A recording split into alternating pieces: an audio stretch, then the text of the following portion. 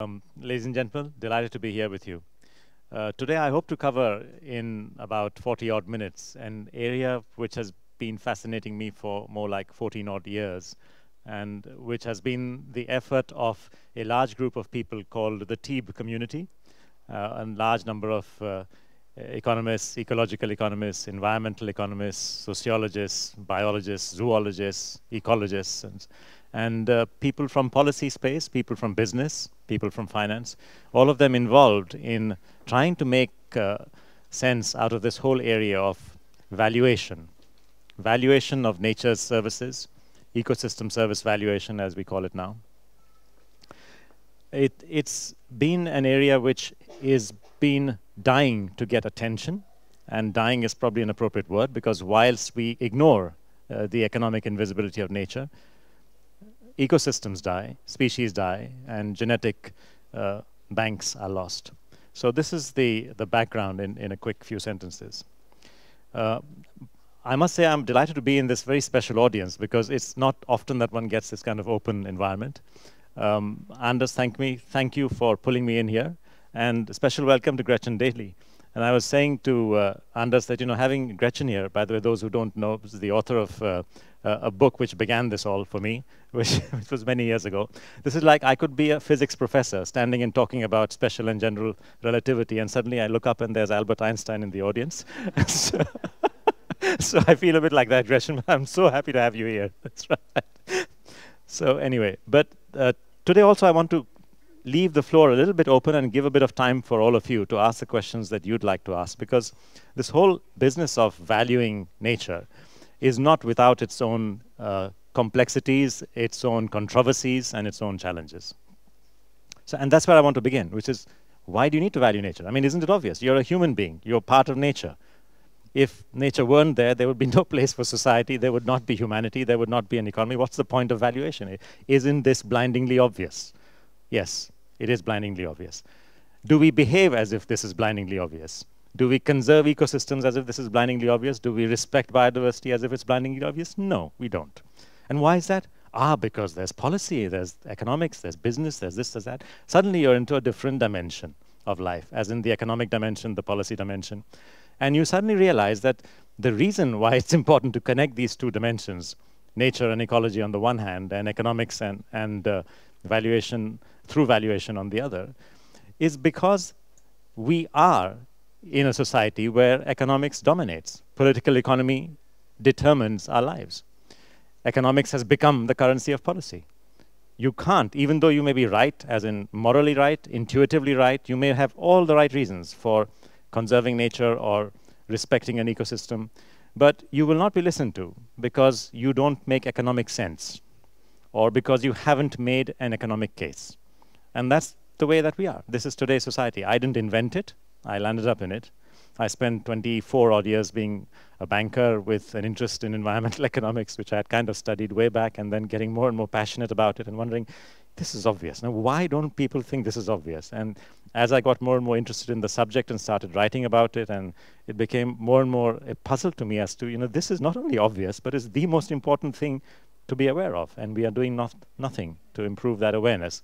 And I think that's that's where where I came from with this uh, concern that the economic invisibility of nature is a serious problem. Our inability to grasp the dimensions of that problem and its consequences are going to be a serious cost to nature, to society, to the economy, to humanity, to everything. And we better get this sorted out fast. So, in, in essence, it's about the economic rationale that drives today's society and the fact that economic invisibility in that kind of world is not a good solution. It's because when we start uh, addressing the losses, you really need a lot of range of knowledge. And this is where TEEB comes in, because TEEB's not, uh, I was a study leader of TEEB, you can say kind of the manager or, or, the orchestrator of TEEB with a passion and an interest in the topic. But the, the authors of TEEB were more than 250 people, and we had more than 200 reviewers. So if you think about the total community of TEEB, it's about 500 odd people who were involved in compiling these TEEB reports. You need that. You need that richness and that breadth of knowledge of what happens where, how, at the local level, at the policy level. Uh, and without that diversity and richness, you would not be able to create something that is truly um, complete in the way that it's trying to address a problem of these dimensions. So that's another reason. And the second is that whilst undertaking this exercise, you're actually writing for different audiences because it doesn't suffice to just write one book. Because it may be the right book for the international policymakers may not be quite right for national policymakers. It may be right for the developed economies, but not for the developing world. It may be right for all policymakers in all economies and, and, and international, but it may be useless for people at the administrative level, people in municipalities, in cities, in towns, where they have to manage local biodiversity and, and interfaces between local areas and local ecosystems and themselves. It may be right for all of those and still be not enough because you haven't addressed the business world how does the business recognize and value its impacts on the ecosystems and why is that important? And finally, and that's the beauty of it, it's also something that was needed because there are success stories. There are many, many examples, and I hope to discuss some of these with you today, where policymakers, local administrators, businesses, and NGOs have gotten together and actually come up with a worked out solution which uses the economics of ecosystem services and achieves a positive result for nature and for the economy.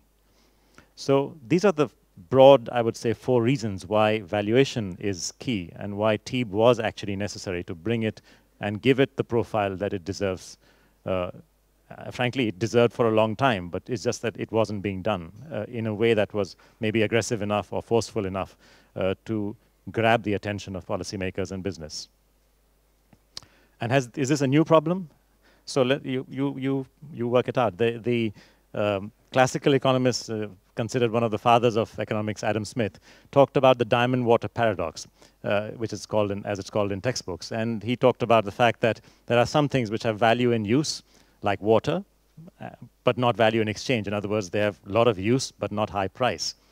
And the other things which have value in exchange, in other words, high price, like a diamond, but not much use. There's not much you can, well, maybe extra pardon to the ladies, but you might like to wear the odd diamond the odd time, but you know, not much else you can do with it. So this has been known that human beings have not really understood either the nature of value or the value of nature. And this has been understood for the last 230, sorry, 240 years now. So this is not a new problem. And Benjamin Franklin said this, and if anyone in the audience knows, please tell me, but I haven't been able to find out where exactly he said this or which year he wrote this. So I presume he said it sometime before when he was born and when he died, hence the, hence, hence the range. But I do know exactly when Adam Smith wrote The Wealth of Nations. When you talk to um, journalists, and I, I just had a, a press interview, the, in, the first question is, so what is the price of nature? infinity. How about that for a number? And uh, we have this amazing obsession with big global numbers. And uh, to some extent, it was necessary because the fact that here was a world within which we lived with delivered ecosystem services which were valuable, which was completely non-recognized, probably needed a jolt to people to make them think that in fact that's not true.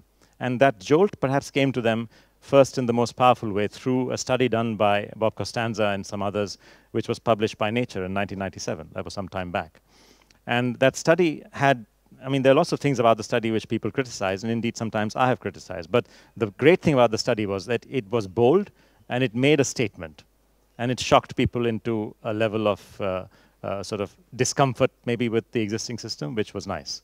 So they calculated on the basis of extrapolations a value of um, 38 trillion uh, approximately for the total services of nature at a time when, uh, sorry, of, of uh, 18 to 61 trillion for the services of nature at a time when the global economy, the global GDP was only 38 trillion. And that shocked people. How can this be possible?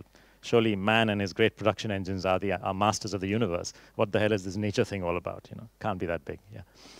And then more, more scientific and more, more measured was a more limited study by Balmford, but still a global study in 2002, where Andrew Balmford, a Cambridge uh, scientist, and uh, others put together a calculation which showed that using some of uh, Costanza's background database of information, that if you worked out what would be the marginal benefits of increasing conservation on land to 15% of the land mass from its current levels of 12, 12 odd percent, and if you increase conservation in the oceans from almost nothing to 30% of the oceans, which uh, in conversation we can, uh, we can talk about, it's not actually impossible, uh, then the value of, of doing that would be of the order of several trillion dollars, but the cost of that conservation would be only $45 billion per year. So the value was almost 100 times the value of the benefits that you get from nature were calculated by him and his team as almost 100 times versus the costs. Once again, a global number. And these served a purpose in terms of waking people up. But what they didn't do was to result in action because, as everyone knows, there isn't such a thing as a government of Earth. So there isn't a president of Earth or a prime minister of the planet to whom you can go and say, sir, you know, if you don't act on this, I will not vote for you. Um, that was a challenge. But of course, the flip side is that there is a way forward if you go down to the national, to the local, to the biome, to the local level. And that's what TEEB is really all about. Uh, the TEEB stands for the Economics of Ecosystems and Biodiversity. I've said this before and I'll say it again. If I was wise in hindsight, I would not have called it that. Um, people as, as expert as, um, I still remember the, at the head of international uh, journalists at the London Club of Journalists, which launched the TEEB for Business report, got confused when he was trying to introduce the topic. He said that there's Sukhdev, uh, the lead author of the, the, the economics of uh, the, the ecosystem, no, the, the economics of biodiversity and ecosystems. And at that moment, I had this epiphany saying, oh my God, I've made a few mistakes in life, and this was one, just calling it TEEB. So if, if I could go back in time and rewrite it, I would have called it the economics of nature. 10, T-E-N. Wonderfully simple. It would have been launched in 2010, so nobody could forget it. And, and you know, 10 is a nice number, right? So here's Muggins, stupid. Uh, sorry, you know, made a mistake, but I'll try to get my next project the right name if I'm lucky. Anyway, so coming back to the T perspective on valuation, the perspective of these 500 plus people. Here's how we see it. We see it as a human institution. We don't see it as just an exercise. We see it as a human institution, much the way as Douglass North would have seen taxes and constitutions as human institutions uh, so is valuation. And it consists of three layers, if you like. You can recognize value. You can recognize value without ever touching the economics of anything. And, uh, sorry. You can recognize value by basically saying that there is a need for patrimony to be preserved, there is a need for um, uh, heritage, human heritage to be preserved. I would like my future generations to see what I see. Therefore, uh, let's declare a new protected area. And economics has not come into this. This is about a sense of patrimony. Or you could be um, um, a tribal in a forest in Brazil or in India, and you could take the view that this forest, this, this sacred grove next to me is sacred because my ancestor spirits live here, or because my deity, my presiding deity lives here. Therefore, I will do anything for it. I will die for this sacred grove. You valued it at infinity based on a belief. So there was no economics in that choice. So you can actually do valuation by recognizing value. You don't need the economics. But sometimes you need the economics by demonstrating the value. It works. And if you demonstrate that the value of um, bees and insects for pollination is high, then you might be able to convince policymakers to not undertake certain choices in order to make sure that there are enough bees and pollinators. Or, as in the case which I'll describe to you of Nakivubo swamp, but let me hold that for a moment. But if you recognize that there are these different ways of recognizing value, demonstrating value, capturing value means someone actually pays somebody for the value that they have received from the nature's uh, bounty that they receive thanks to your not damaging what, what provides the benefit. So one party withholds, for example, uh, agricultural practices which would have polluted waters and therefore ends up producing maybe less agricultural output but is paid by the other party downstream for having undertaken that practice. So one person pays for the value that was provided to the other. So that's effectively a capture of value. And that's an example of what we call a payment for ecosystem service. PES stands for that. Sorry. So if we look at this universe of valuations, forms of valuation, recognizing or demonstrating or capturing value, there are actually different types of strategies which we talk about in, our, in the TEEB reports. And these strategies basically could be either regional plans where you've understood that certain ecosystems are of value for certain reasons, and therefore you amend your land use plans to reflect that understanding. So once again, you haven't really worked out the economics, but you've sort of made the right broad choices based on an understanding of how things work on the ground. Uh, you can have legislation such as what I talked about, where you've decided that because of patrimony, the Yellowstone National Park is going to be conserved or whatever the equivalent here in Sweden is.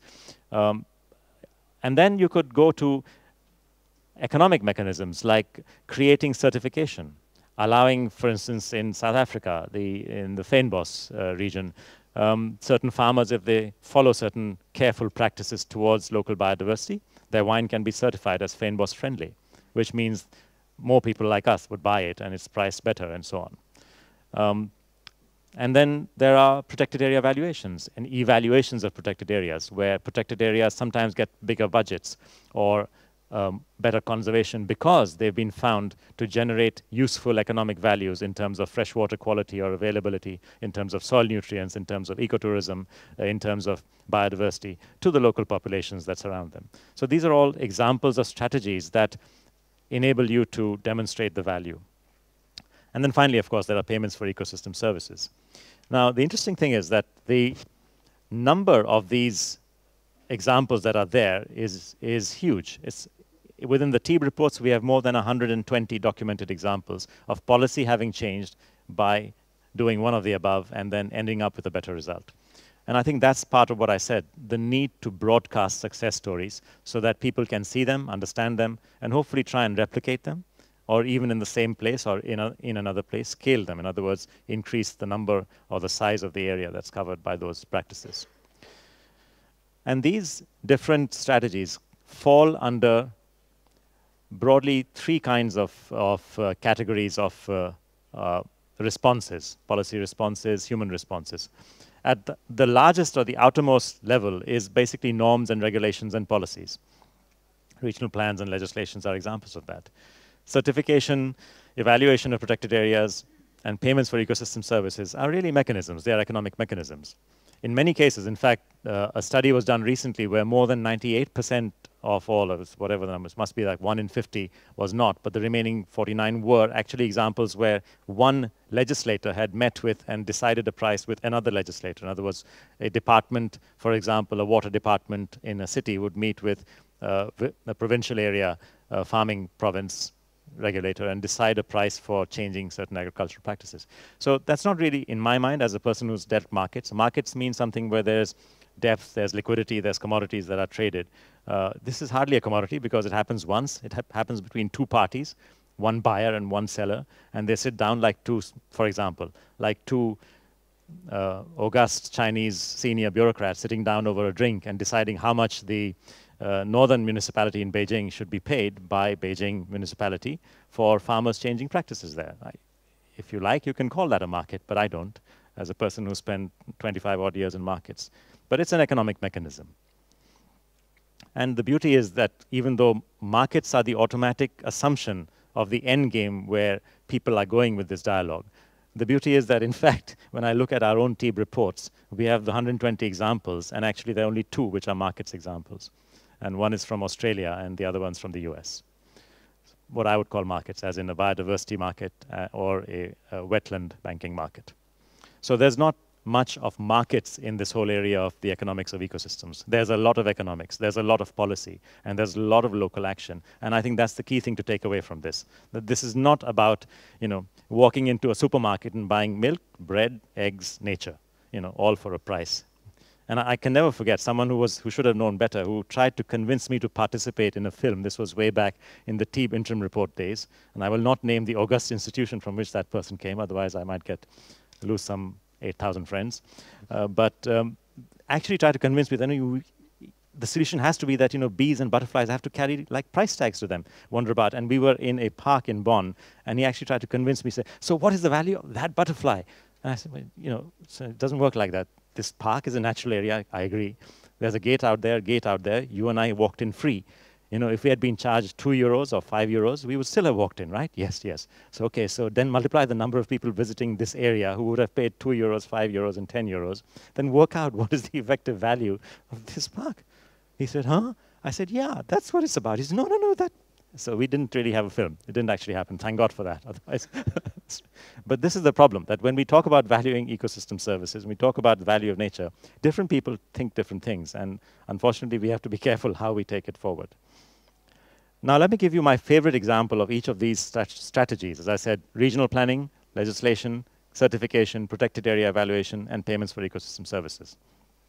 So here's an example of a regional plan in China from the Baoxing County, which was changed. I think Gretchen's here. You recognize the map. Is one of your examples. And a great use of uh, software which she and her colleagues have, have uh, introduced called InVEST, which is basically a way of measuring what comes from where. In other words, what ecosystem services, soil, nutrient cycling, freshwater provisioning comes from where and benefits whom where. And when you know that and you map it out properly, then you can make sensible decisions as to what areas to convert into agricultural land or what areas to convert into alternative uh, human habitation and so on. That helps you improve, and that's what happened here in the Baoxing County. An example of a legislation introduced was just after the, um, uh, the 1990H bleaching event in the Philippines, at Tubbataha National Park.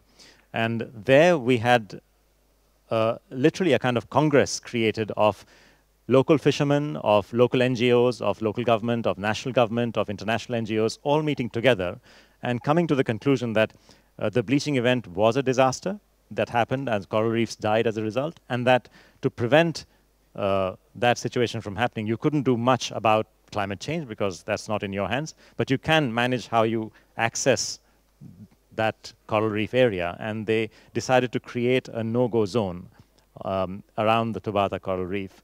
And that was so successful at restoring uh, coral cover. I think uh, there was an observed 10% increase in coral cover for the next several years per annum, and uh, the fish biomass actually increased fourfold over that period. So as a result of that, they increase the area. in 2010, they actually increased that with an additional buffer zone around that. So here's an example of a legislation that resulted in people recognizing the value of nature. But sometimes it's useful to do the economic calculations. And here's an example where it was useful. This uh, place looks quite pretty in the picture, but it's actually a swamp. When you go there, you'll be stung by mosquitoes and hundreds of other insects. Not so, not so nice. But this swamp is a very useful swamp. It has economic use because this is where the uh, sewage of the city of Kampala flows into. Human sewage basically gets broken up by bacteria in, in the swamp, becomes food for fishes effectively. And there is a local community there which fishes. So it's got value, but mostly its value is breaking up human sewage. It's a sewage treatment plant, natural. And it's free. And the plan was to dam this area and convert it into more land for agriculture and other uses. Until an economist from the IUCN wrote a short paper saying that this doesn't make sense because the economic value of the ecosystem service of sewage treatment provided by the, by the, uh, the swamp is several times higher than the alternative value of using it for other areas after accounting for the costs of conversion of this, of this swamp. And thankfully, based on that economic analysis, that demonstration of value, the uh, city of Kampala decided to change that decision, and it's still there. Doesn't look as pristine now as it, as it did then, but it's still there, and it's part of the green belt. And finally, examples of payments for ecosystem services and certification. These are the two economic mechanisms I mentioned which do work. And this is an example uh, from uh, Japan, from the Toyooka city, which is in Honshu, the main, the big island in Japan on, on the northern side of that. And um, the white stork, which was a bird beloved of the Japanese, had gone extinct here in the, in the late 60s. Uh, they've always sort of tried and hankered after this because there's an emotional bond. There's a connection between the Japanese and their storks. And they've always wanted to have this back, but could never quite figure out. They kept a few breeding pairs from Siberia. And then finally they realized that what was needed was a change in the way they managed rice. So they went away from uh, dry rice, which used less water, to one which used more water, wet paddy, reintroduced organic farming, paddy farming, and as a result of that, uh, their stock pairs started breeding. And so basically they had their own revival of an extinct, locally extinct species, which came back. I've actually been here and I've at least seen two of the 40 breeding pairs that they claim to have. So it seems to be working. Um, the interesting thing about this example is the reason it worked is because an incentive was provided payment for ecosystem services to those farmers who decided to get into paddy farming, in other words, organic farming. And that incentive has been reduced from uh, 40,000 yen per thousand square meters, which is one block, uh, to 7,000 yen. It still carries on. Now, the practice has become popular, so it carries on despite the subsidy being reduced. And the second aspect of this was certification, which is that rice which was grown in this way in the Toyooka was branded and sold as uh, basically the, the white stalk rice. And it was sold as either organically friendly or pure organic rice. In other words, reduced pesticide use or zero pesticide use and organic farming. And the net result is that the farmers who packaged and sold this right would realize prices of 20 to 50% higher than the normal price. So therefore, they were actually getting more value from this form of farming. And that's an example of certification working in favor of uh, an uh, ecologically friendly practice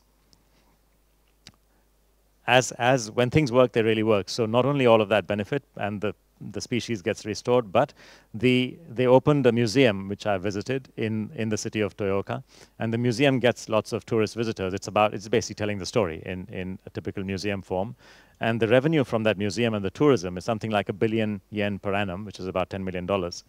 Um, and that's quite a lot for them because that means an increase in their prefecture earnings of 1.4%. And I can tell you from my days in Asia as a banker that in Japan, anything that's above 0.01% is actually considered a large number in growth terms. So that's, that's significant, yeah. Anyway, long and short of it is that the TEEB perspective, and I will go more into detail uh, with, uh, with a few more aspects of valuation, but the TEEB perspective has, is broadly aggregate, is, is broadly around five themes. One is that the decision of valuation itself has trade-offs because the moment you get into the space of thinking that you can value an ecosystem service, you've made a certain choice in terms of how you relate with nature. If you are a Yanomami tribal in Brazil or, or a tribal in, in Rajasthan, in, in India, you don't get into that mindset because you are part of that ecosystem and valuing it would be a bit like asking a local fisherman somewhere to value the oceans. idea, I just go and fish and I live off it and this is my life.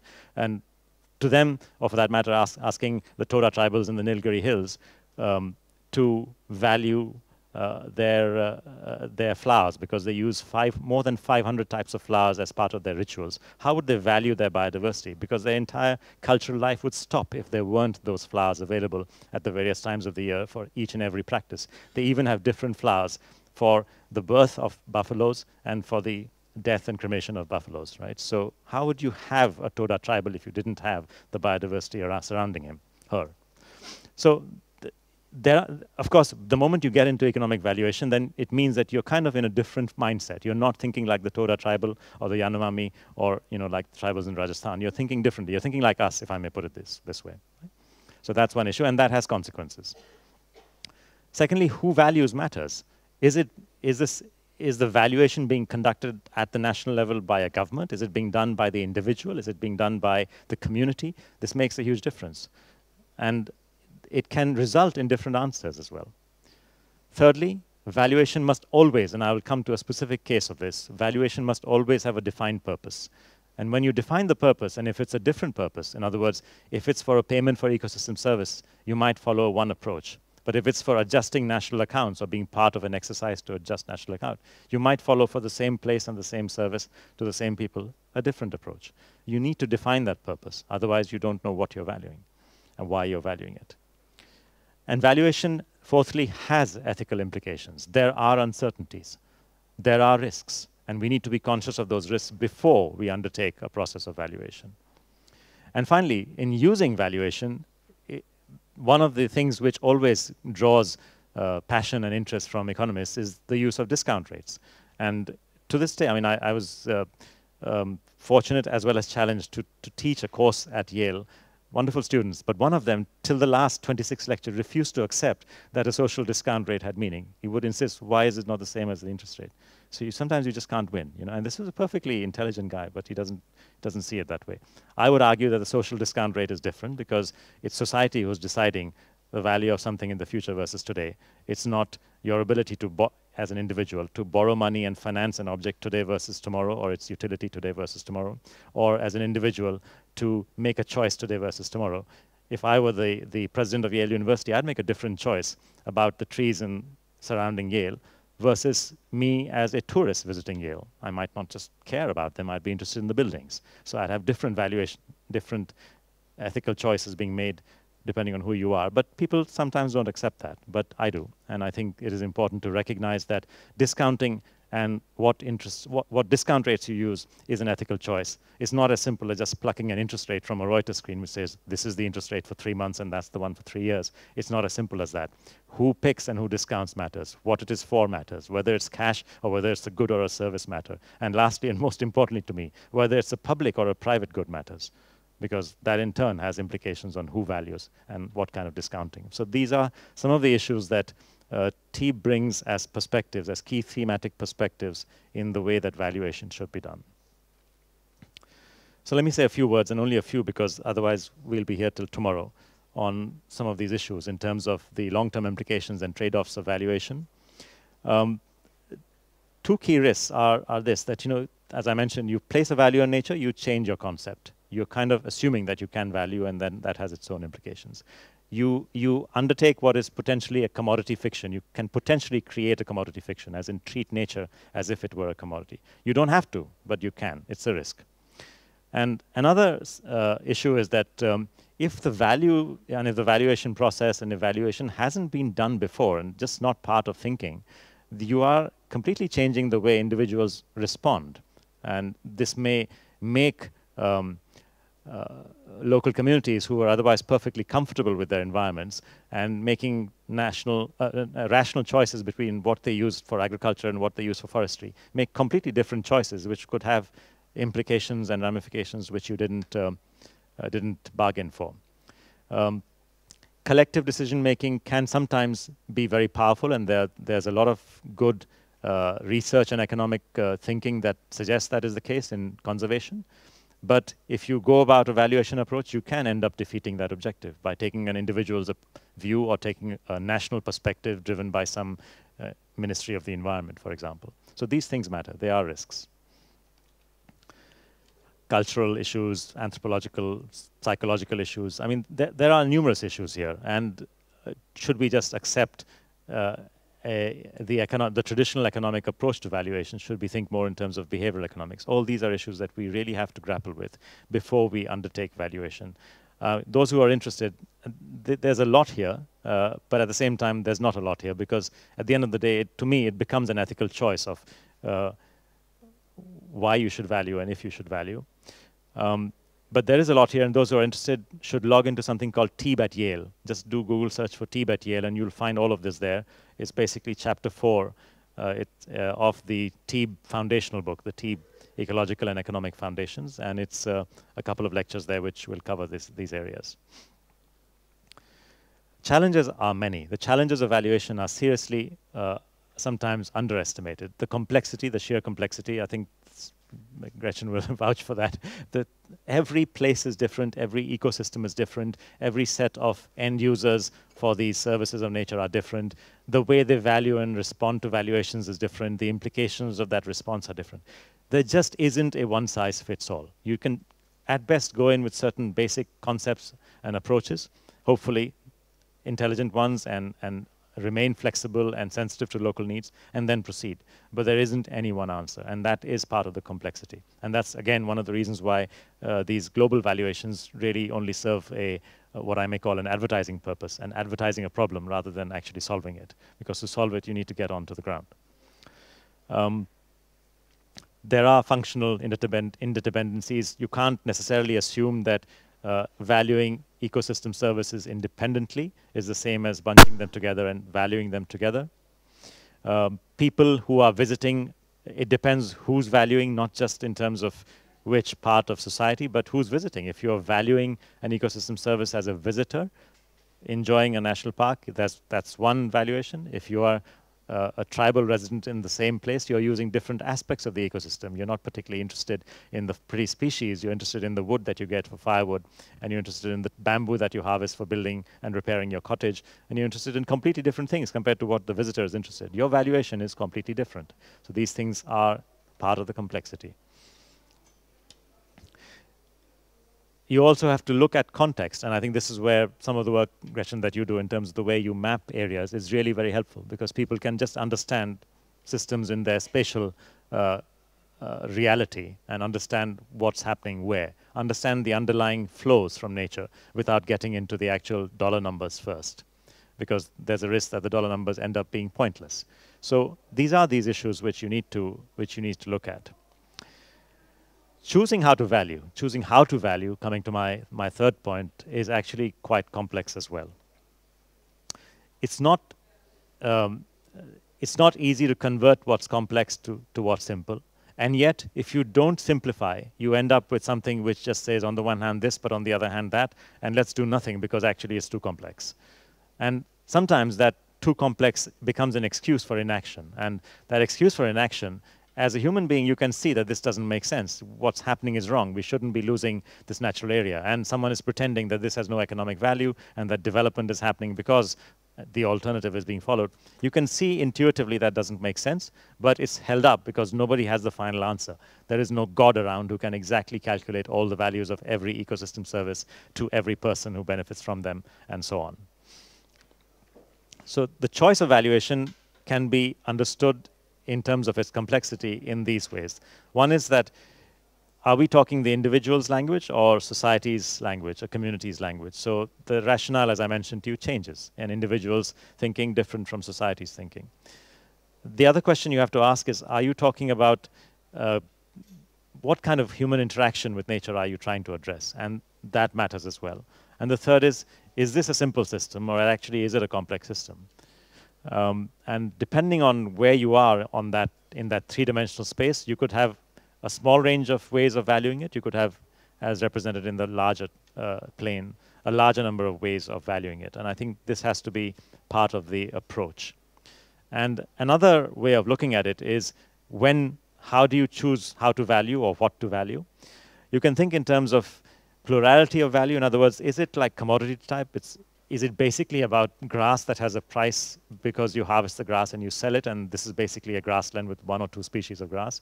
That's fine. That's commodity type values. Or is it a complex rainforest where, yes, there are some fruit and, and nuts that you can harvest and some water flows which you can kind of estimate, and the rest is really complicated to try and estimate.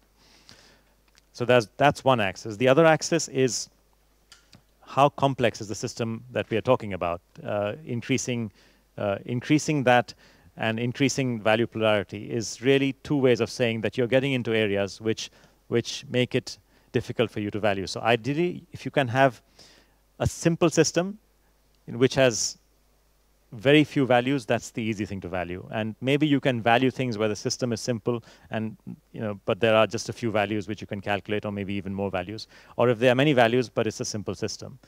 But if you have a complex system and it has many values, then you are going to face challenges. And I think we have to be conscious of this background when we start valuing. And I'll give you an example of how, um, how this works in reality by saying that these are the sort of questions that we have to ask ourselves. Is the purpose, when we choose how to value, is the purpose clearly stated? Is it for green accounting, for instance? Is it for calculating payments for ecosystem services and or is it for sending, setting compensatory payments, as in someone's demolished a forest and what, what uh, penalty should you apply? Is it a penal approach as against a reward approach? That makes a difference. Second question is, whose valuation? Different segments of society will have different interests. The local tribal will have a different interest from the visiting ecotourist, who will have a different interest from the neighborhood farm community, who will have a different interest from the national government or the local government.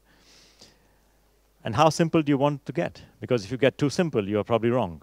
But if you make it too complex, then you'll probably do nothing. So you, there's a, a difficult trade-off. there's a choice that you have to make in, in achieving that. And uh, let me give you an example of how, from my own experience, uh, from a, um, a, situation I was involved in in my country in India, a a policymaker who was seconded to the Supreme Court of India made this choice. I could actually see it was incredible to see this man going through this and us going back and forth. He had discovered the work that my green accounting project had done. Green accounting basically means adjusting national accounts based on the unaccounted values of ecosystem services. And in our case, we even did a calculation for human capital. So it was basically to try and present to the government of India that their GDP calculations and their, their, their you know, fixation with GDP growth and their constant admiring and copying of Chinese style development was not well advised because they were not getting the reality. So that was the purpose of valuation in the case of our green accounting project. That was in 2003. A couple of years later, this I get a call from the Supreme Court of India, and normally in India, if you're an Indian especially, you don't want to receive calls from the court or from the police, right? So my first reaction was like heart sinking and do I, what what have I done wrong? And no, I hadn't done anything wrong, just to publish this thing called, you know, the value of ecosystem services in India's forests for carbon values. And, and can you please tell us, can we use your numbers? I said, yeah, what do you want to use them for? Um, oh, we have this court case where people are saying that the compensatory payments that we had set are complete rubbish, and you know your numbers are actually actually lower than ours. So you know we don't know why they're saying our numbers are rubbish. So I said, no, you're probably right, sir. But what can I do to help you? Because my calculation is for the purpose of national accounting and I have very conservative numbers. That's why your numbers are probably higher than mine. Then he says, well, can you explain why you're conservative? I said, sure. So I wrote a very simple three-page note explaining on each point all the ecosystem services we had not accounted for, why we had used the assumptions which were at the lowest end of the assumption range to make a difference to the actual GDP versus the adjusted GDP. So we had deliberately said we don't want to be provocative. We want to just make the point that even on the smallest change that you need to adjust these accounts for the uncaptured values of ecosystem services, that's going to be big. That was the reason we were doing it. So I said, look, if we took assumptions in the middle of the range or at the high end of the range, you would get a different answer. So he said, no, no, you must write this down in a note for me. So I said, fine, I'll write this down in a note for you. I thought, you know, national service, I'm doing this for the courts. So the note went, and that was fine. I get a further call saying, can you help me with this table I'm preparing? So again, some back and forth. And then six months later, I get this note saying, thank you very much, you know, really helped us. We have won the court case. And I was flabbergasted. So, and they said, we'll send you a copy of our, of our report. So this court report arrives in my hands, and I, I, had tears in my eyes when I saw 15 references to our project and the valuation tables. It was incredible that, you know, somebody had actually made these choices some bureaucrat in the Indian government who had been seconded to the Supreme Court had gone through this thinking, painstakingly making phone calls to me, trying to catch me in my travels and emails, and had gone through. And basically, he decided that he needed to simplify. He had taken an ethical choice that he didn't want this to be too complex. He thought our work was too complex.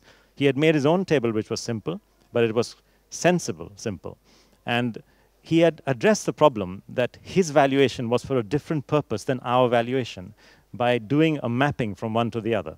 So this is how he organized. This is taken straight from the court um, uh, proceedings, the, the documented decision.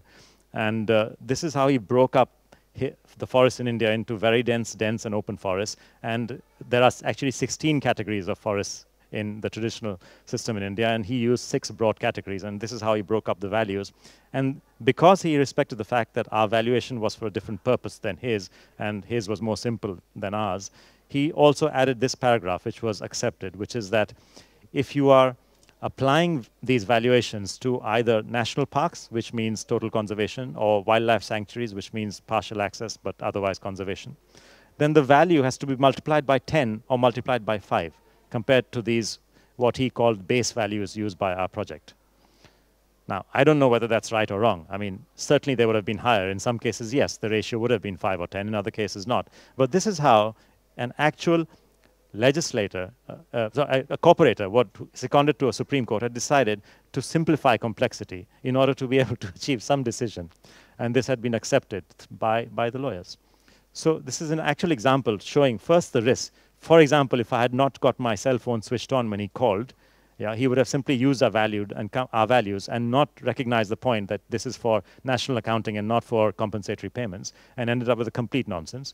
Secondly, he had the gumption to actually uh, go through the back and forth email correspondence and respond and then have the further gumption to simplify because if he had done something like cut and paste from our tables nothing would have changed because people have said this is all gobbledygook, you know, this is academic gobbledygook. They would not have believed it. But because his table was so much simpler than anything that we'd written, they believed it because it kind of made sense for them. So these are real things. And when we talk about this in theory in the TEEB reports, I'm, I'm glad that we have enough examples as well. And I think that's why we needed the 500 odd people because how do you collect something together of that kind? Another, another aspect of valuation is this whole issue of risk and, and the whole issue of uncertainty. I think I've talked about some of the risks and how people address them. Uncertainty is a big one. Now, this image you, re you recognize is the Brazilian rainforest, uh, Amazonian rainforest. And yeah, it's, it's lots of things. Uh, it's a carbon store, it's a biodiversity store, it's, it's, a rainfall, it's a rainfall factory, and so on. And we actually had, and I'm sharing something that's from within the TEEB team, we actually had a serious internal debate on whether we should go ahead and do a calculation for the Brazil case, or based on whatever best uh, papers that we had with us on the rainforest, because you know there was still uncertainty as to the connection between rainforest and rainfall. And of course, you know there are papers such as Marengo et al. Uh, from the Journal of Climate, which suggest and argue that evapotranspiration does actually seed the rainfall and that rainfall seeding function is obviously valuable because that's where, you know, Mato Grosso, Uruguay, Paraguay, and Argentina's granaries in Latin America get their water in some form or the other. That's where it comes from, and that's valuable. The agricultural economy of this region is something like a 250 billion dollars, a quarter of a trillion dollars, and obviously the economic invisibility of the freshwater cycle or the fresh freshwater function of the rainforest is a hugely powerful, at least an instrument, which if it were recognized in some way, if it were into policy, if it were into international discourse, uh, the answer for what to do would be different. But it's not. And we had to make a, take a call on whether we um, include this point or not include it in TEEB, because these were always consensus decisions. Uh, finally, the argument that, that I used to convince my colleagues that we should include it with all the caveats is very simple, that look, what you're saying is there is uncertainty because you don't have scientific proof. You haven't proven this. But then go back to Karl Popper and his theory of scientific proof, which is that, yeah, it's falsifiability. My point is that if you are trying to falsify, you know, something like calculating the speed of light and working it out based on two angles or something like that, that's fine. You can do that. Or if you falsify an experiment in chemistry or physics, it's easy. It's painless. It doesn't cost life. Try working the logic of falsifiability on this. And what it would mean is that the theory is that this thing has evapotranspiration which seeds rainfall. How do you disprove this theory? Well, you need to cut this off completely and do it a few times and see whether rainfall reduced as a result of doing it. That would be the Popperian answer. But the fact is, you know, I mean, I don't have to explain further. That's the whole problem. This is the science of life. You can't apply the science of physics and chemistry to this, and that's that's the challenge. So you do have to make ethical choices and a few jumps, if you like, in what is an ethical space of yes, we will go ahead and do this, despite the fact that no, we don't have 100% or incontrovertible scientific proof of the fact that the uh, that this happens. Uh, two final points I want to talk about. One is we keep talking about valuation as a feedback mechanism, and this goes back to where I began. If we were connected with nature uh, if we intuitively were able to respond in society as perhaps intuitively we do at a personal level, there would be no need for a feedback because we were with it, kind of.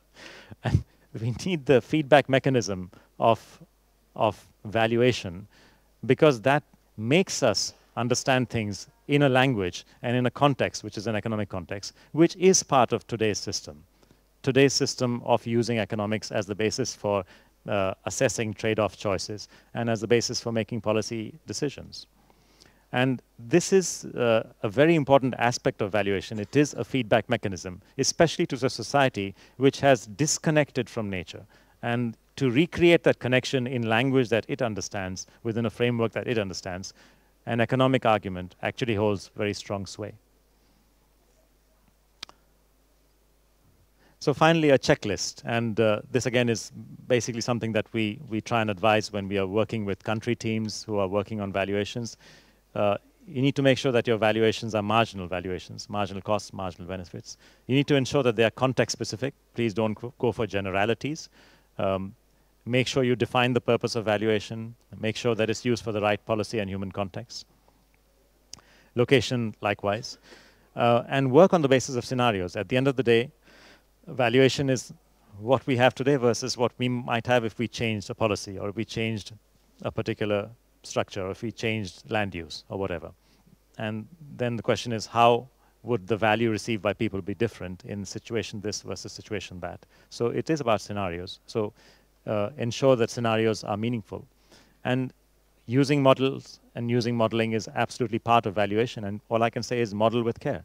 Sometimes we have benefits estimated more easily than costs. Sometimes people who are doing restoration uh, work do not calculate or record their costs simply because they're doing it out of passion and that's just not their thing.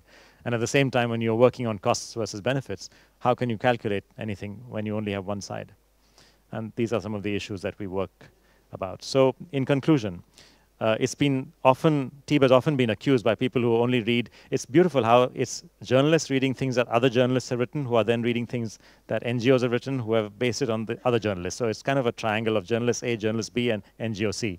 And each is quoting each other. And I'm wondering, like, Alice in Wonderland, like, where did they get this from? Which part of TEEB did I, did I not read or not write? And how did this happen? And the answer is, well, you didn't. I mean, they just decided that they want to say this. So there we are.